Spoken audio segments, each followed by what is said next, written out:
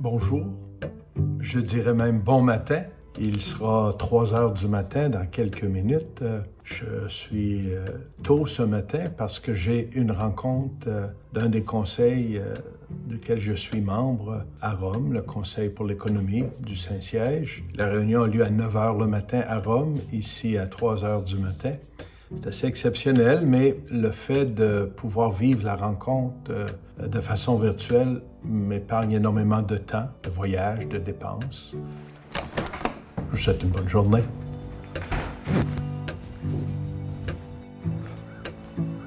Il y a des matins, le lever de soleil, c'est spectaculaire. Et que ça commence bien une journée. De voir le magnifique fleuve, l'île d'Orléans, au loin Saint-Anne-de-Beaupré, Lévis. Et j'aime marcher le matin parce que c'est tranquille. Il n'y a pas beaucoup de monde dans les rues, alors je peux marcher à, ma vitesse. durant le jour, c'est plus difficile parce qu'il y a beaucoup de gens, puis j'arrête évidemment pour saluer les gens ou les gens que je connais ou qui me connaissent. Alors, je ne peux pas marcher euh, à mon goût, mais le matin à 5h, 5h15, 5h30, là, il y a très peu de monde. Puis ceux qui sont dans la rue, c'est comme moi, ils marchent.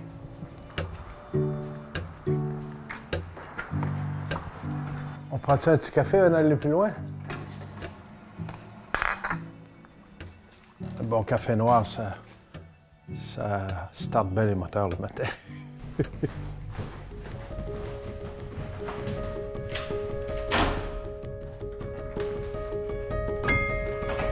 Quand je viens prier seul à la chapelle, une chose que j'aime beaucoup faire, c'est de venir avec l'annuaire diocésain et prendre le temps. Là, je suis rendu ici. Prendre le temps de prier pour tous les prêtres, les diacres, un après l'autre. Prier pour les instituts de vie consacrés, les groupes, les mouvements, les associations, les équipes pastorales. Tout doucement, repasser les noms, les lieux, les diverses situations que je connais, les beaux projets, les choses plus difficiles. Vous savez, tous les jours, les gens prient pour l'évêque. Hein. À chaque messe, on le nomme. Gens prient pour moi, puis c'est très important. J'ai besoin de ce soutien-là. Et je me suis dit un jour, ben, aussi, je devrais prier. Je ne peux pas nommer tout le monde à tous les jours, mais en faisant le tour comme ça, ça me permet d'avoir toujours, à longueur d'année, tous ce, ces ministres ordonnés, les agents de pastoral, les gens qui collaborent, les divers ministères, les divers mouvements, groupes dans nos diocèses. Je trouve ça important.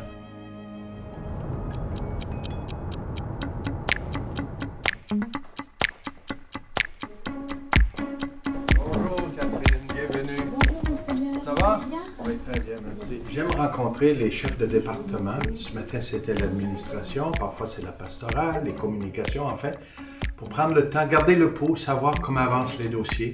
C'est des gens en qui j'ai bien confiance, mais c'est important que je puisse suivre et savoir comment avancent les choses, voir euh, les projets à venir, des décisions peut-être, des discernements à faire. Alors, très intéressant. Ça me garde euh, au courant.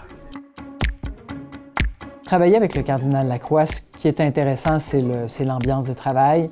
Euh, c'est quelqu'un pour qui la personne est vraiment au centre. Ben, le cardinal, c'est quelqu'un de, très observateur. Moi, je suis pas visuel, mais lui, il l'est. Si, j'ai changé ma coupe de cheveux, il va s'en rendre compte. Euh. puis il est attentif aux petits détails aussi. Des fois, quand, il revient de ses, voyages, quand il est revenu de Hongrie, par exemple, euh, il nous avait rapporté des chocolats. Donc, beaucoup de petites attentions qui font plaisir.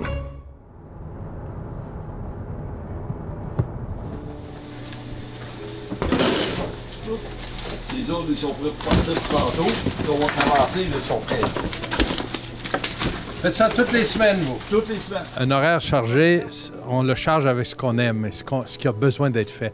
Moi, je suis très heureux d'être ici pour euh, surtout venir soutenir les gens qui sont engagés à longueur d'année à donner à manger, à accueillir les gens qui en ont besoin. Je soutiens beaucoup d'organismes. Je n'ai pas souvent l'occasion de venir. Ici, c'est la première fois. Je suis un abonné de la Bouchée Généreuse et de d'autres endroits où je vais, une fois par année, deux fois par année, ça dépend. Mais j'aime encourager tout ce que je vois qui fait du bien aux gens, qui prend soin des gens. Euh, je trouve ça tellement important. Puis même si je viens pas faire beaucoup de travail, c'est eux qui font le gros du travail. Je viens leur dire merci, les encourager et savoir que ce qu'ils font là a une grande valeur.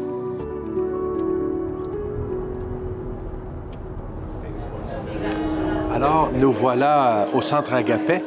On est au sous-sol. C'est le 20e anniversaire. Je suis avec Monseigneur Pierre-Olivier Tremblay, euh, qui était ici à l'origine. Ça avait commencé Jésus ouvrier, la maison euh, Masnod. Masnod, là, dans- et ça a grandi. Maintenant, c'est ici. C'est agréable de voir la vie. hein. On voit beaucoup de choses qui sont en train de mourir ici et là, des églises qui ferment. Mais il faut voir aussi ce qui est en train de naître. Et pas juste naître. De vivre 20 ans, là, c'est déjà adulte. hein? C'est une communauté là, qui, qui- prospère. C'est beau de voir comment le Seigneur est agissant, comme il l'a promis, il est avec nous.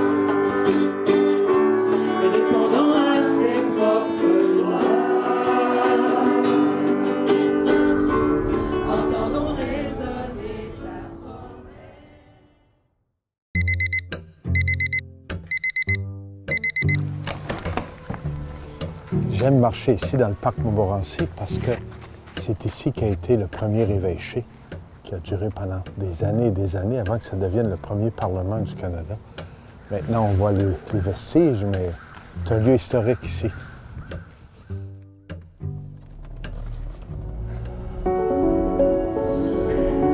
C'est bien le fun. On se prépare à accueillir les prêtres du diocèse, les diacres, les évêques.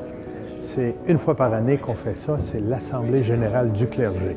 Un grand rendez-vous. Alors, c'est une journée de retrouvailles, de fraternité, une journée de ressourcement. On a toujours une personne invitée, célébration de l'Eucharistie. On souligne aussi les jubilés. 25, 50, 60, 65, 70, 75 ans de presbytérat ou de diaconat. Alors, c'est un beau moment. Ça rentre à pleine porte? Salut. Oui, c'est la bonne heure pour ça. Salut Michel, ça va? Oui, ça va. Bienvenue. Bonjour, bonjour. Enfin arrivé au Centre des congrès de Québec pour la soirée à la table du cardinal. Notre événement bénéfice annuel, c'est notre neuvième édition.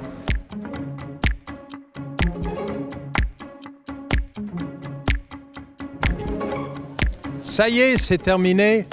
La salle est presque vide, les gens sont partis. Heureux, joyeux, une neuvième édition de la table du cardinal pour amasser des fonds pour aider les gens qui aident les gens. Redonner au suivant.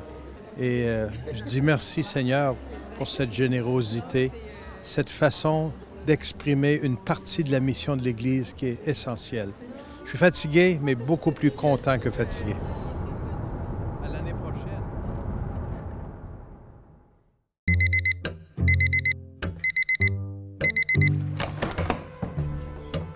Un autre beau dimanche qui commence. Aujourd'hui, c'est la Pentecôte et c'est une belle journée pour confirmer les néophytes, les catéchumènes qui ont été baptisés dans la nuit de Pâques dans leur paroisse. La coutume, c'est que ceux et celles qui sont disponibles, ils viennent et c'est l'archevêque qui les, qui les confirme le dimanche de la Pentecôte pour compléter leur initiation à la vie chrétienne.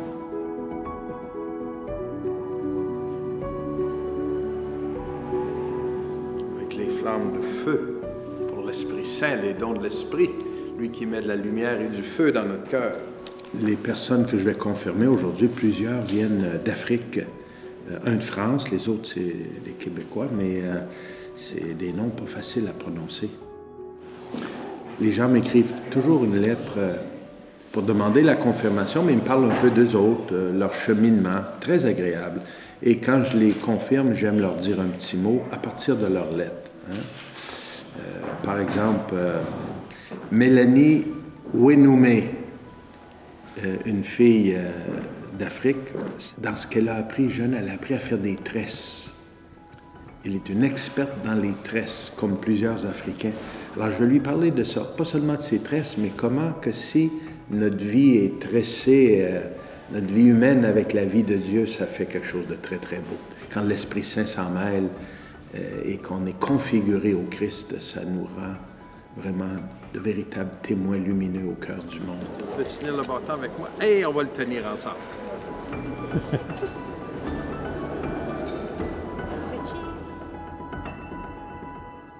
Vous êtes mal commode. Oui, Minas. Alors, euh, C'est dimanche soir à l'Archevêché. On se prépare à accueillir un très beau groupe de pèlerins du diocèse de Chartres en France. Et dimanche, on n'a pas de service de cuisine. Nos employés euh, qui travaillent sur semaine sont en congé. Alors j'ai invité des amis et on a décidé qu'on des, bénévoles, on va faire ça ensemble, on va préparer le souper. Et jeune, j'ai travaillé cinq ans dans la restauration. Commencé à laver la vaisselle, fini dans les cuisines, j'ai fini gérant d'un restaurant. Et j'ai toujours aimé faire à manger. Ça me détend faire à manger. J'ai rarement l'occasion de le faire. Mais aujourd'hui, pour cette belle réception, j'ai dit, tiens, je mets la main à la pâte avec des amis. Et puis, on a une quinzaine d'invités. Avec eux, on va être environ 20 personnes. Ça va être très agréable de passer la soirée avec nos amis de France. Alors, permettez-moi de vous expliquer un peu euh, le menu ce soir. Nous avons voulu vous préparer un menu euh, plutôt québécois. Les patates au four euh, sont du comté de Portneuf et les carottes et les navets viennent de l'île d'Orléans, île qui a déjà appartenu à François de Laval. Et la recette de, grand-père de sirop d'érable, c'est celle de sa maman, Eliane. Voilà.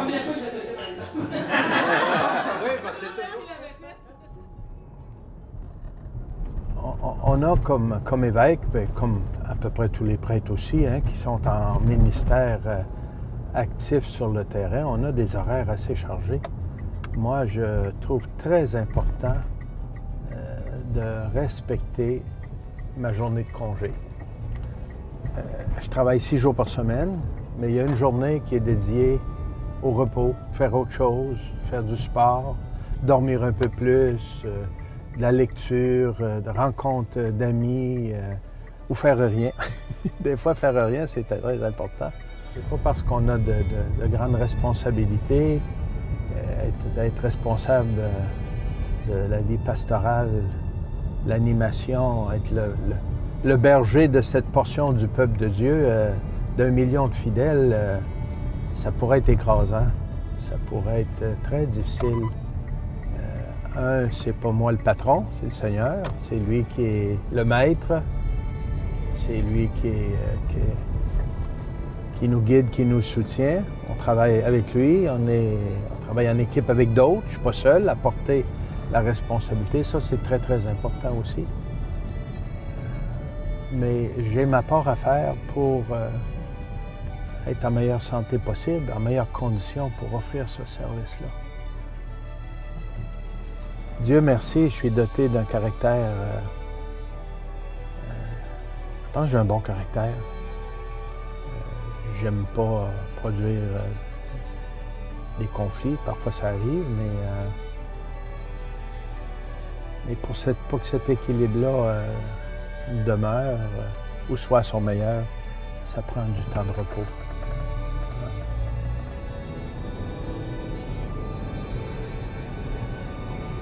On voit souvent Jésus dans, les évangiles qui, invite ses, ses apôtres, venez à l'écart, reposons-nous un peu. C'était bon pour lui, ça doit être bon pour nous autres. Il ne faut jamais oublier notre humanité. On est des hommes, des êtres humains avec des besoins d'êtres humains. Et euh, tout ne peut pas être du matin au soir juste du travail.